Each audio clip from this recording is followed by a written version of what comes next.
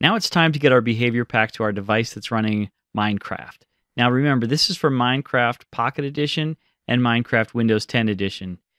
If you're running Windows 10 and you've got Minecraft installed, you're in luck. We're just going to need to run this behavior pack. If you're planning on testing on Pocket Edition, we're going to have to figure out a way to get the file to that device.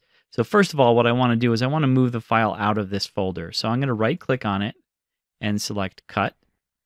And then I'm going to go to my desktop and I'll right click on that and I'll select paste. And now I've moved the behavior pack to my desktop folder. If you're running Windows 10, you could proceed to the next step. If you're going to be running this on Pocket Edition, you're going to need to figure out how to get the behavior pack onto that Pocket Edition device. There's a number of ways to do that. And if you're a younger person, you might want to talk to your parents about a way to get this file emailed to your Pocket Edition device or some other way using uh, cloud drives, either iCloud or Dropbox or Google Drive.